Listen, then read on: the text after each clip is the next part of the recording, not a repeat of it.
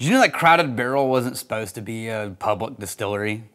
It was supposed to be a, um, a workshop distillery for whiskey marketing school. Um, I'm Daniel Whittington. I'm the chancellor at Wizard Academy and Whiskey Marketing School. And I started, I I have memories of how we started Crowded Barrel, and some of them are very strong. And I started going back and watching old episodes and trying to research dates on to see like how much my memory is accurate on what I remember and how much of it is like I rewrote the story in the last, you know, seven years. Um, but the origins of Crowded Barrel are pretty unique and pretty cool. Um, so when we started whiskey marketing school in 2015, and uh, I, at the time I thought level four and five, and there's not a five anymore, but I thought the final levels of that school program were going to be involved in production somehow and showing them how to run stills and actually get their hands on equipment. I've since changed that uh, because I think there are other programs doing that better, and I would rather send our students there um, than try to replicate it. And then we could double down on what we're great at, which is communications and business and marketing, and that becomes our final wrap up. So I mentioned this, and, and Roy, the, uh, who owns the for profit side of the property, said, Why don't we build a little tiny distillery over here?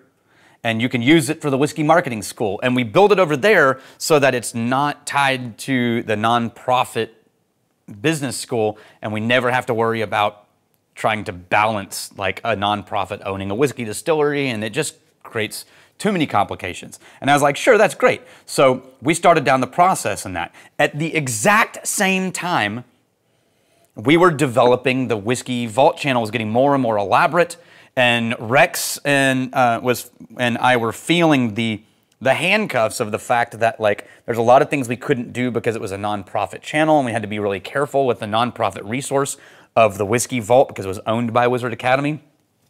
And so simultaneously, two things happened. One, Rex got involved in the distillery, and the distillery changed slightly from being just a resource that was only open when we had class to like, this is gonna be a real distillery, and it'll be small and micro and weird and interesting, but we'll film it and we'll let you guys see and be a part of the story of building this small distillery. And that's when it switched from being a resource for the Somm School to um, all right, it's going to be its own thing, and Rex and Daniel are going to start it. And uh, that was pretty early on, actually. Um, I think it was 2017 and 2018. We we spent building the building, and during that time, you can go to the Tribe channel and you can watch multiple videos of like trees being cut down. And I think October 2017 was the first episode where we cut a tree down and put a plank down, and said, "Here's what we're going to do, guys." Um, and then the Patreon started after that. And the Patreon turned it into a crowdsourced whiskey distillery. And I'll explain that in a second. But first, let's talk about this. This is Westward. And this is a gift from Anthony Iturrieta, who is a kind and generous human being. Thank you, Anthony. This is a Oregon malt. And uh, I, I just love what these guys are doing. They're using Oregon grains. They're they're very serious about production and taking care. Everything Rex and I have tried of Westward, I've loved, and I've tried some other things on the side and single barrel picks, and I've always loved it. It's definitely very sort of uh, malty, rich, and grain forward. In my experience, on the nose on this is no different. This is the cask strength Westward malt. Um, Miles Munroe is the blender that's making uh, these products, and, and uh, he said that he specifically created this to be cask strength but approachable, which I appreciate because I end up drinking a lot of cask strength whiskeys and I find myself over and over just craving something that is just a little more easy, uh, which, you know, so I start drinking lower proof, but then I miss the richness of flavors that show up at, at 100 proof and higher where they, they can hold more compounds. This is new oak, by the way. Mmm. So a dense, rich, almost milk chocolate granola and berries, uh, like, like almost like maybe it's because I'm just out of Thanksgiving. Maybe it's like a, almost like a chocolate cranberry granola. And then there's, but it's still kind of soft and approachable. It's definitely proof high. This is 125, but it's still like I can get right in there and it's not a struggle. I think Miles did a great job on this. The nose is really beautiful.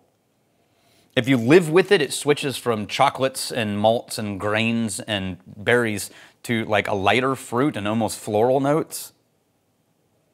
But they're still like dense, heavy, heady floral, like oof, weighty. Mmm. There it is. Okay. Yes.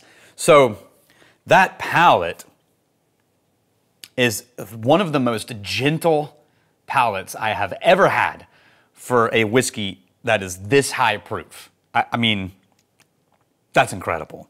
It's it just went down so the mouth experience was just so soft and oily and it's just and I can feel the heat, but it's lingering, but it's not fighting.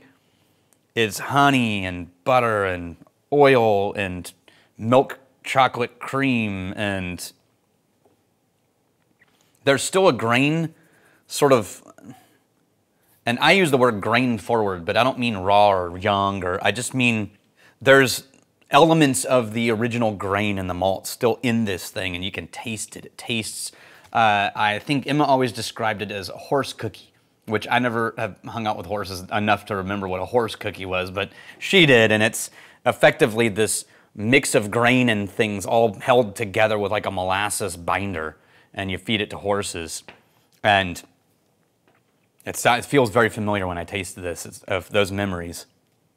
And as you come back to it, the sort of fresh grass and grain notes start to sort of push to the top, and now it actually is more floral, but like greenhouse floral.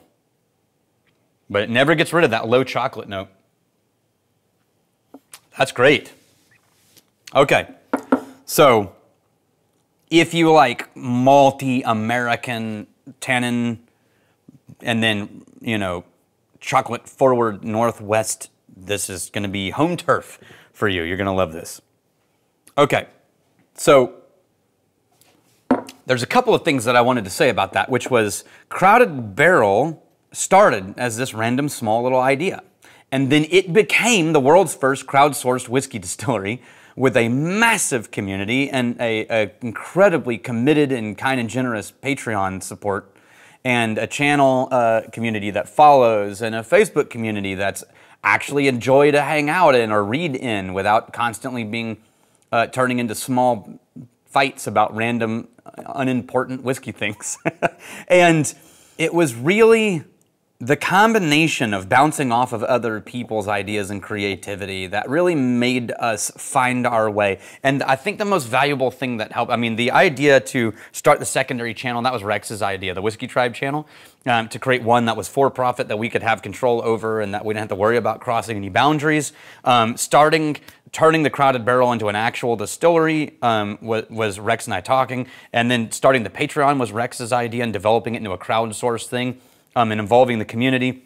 We bounced off each other, but those all sort of originated with Rex talking about what if we did this and what if we did this and what is the potential here. And I think there is a lot of value in just moving and going and start of th starting things and then pushing off of people's other people's ideas and contrast and the push and pull of creativity that results in places you wouldn't really arrive on your own and uh, can take you down really magnificent and interesting paths. I would never have been able to blend whiskey or distill, and I would never have uh, been able to start independent bottling, and um, I wouldn't have been a part of the Texas whiskey community uh, the way that I loved, and I wouldn't have met all these astounding human beings that come to Crowded Barrel every single week. And, and all of that if I had just been left only to my own devices and just stayed with a little baby distillery that served the whiskey school. So I'm grateful for the direction that all of that took and the completely foreign land where we ended up. And I'm also grateful for where we're headed now. I think this was the right time and we're gonna do really cool and interesting things and they have their wings unclipped. Now they can take off and, and we can start developing and building over here. And all of this is only possible because of those choices we made and I'm really grateful for it. So I'm really glad you're here. Cheers to you.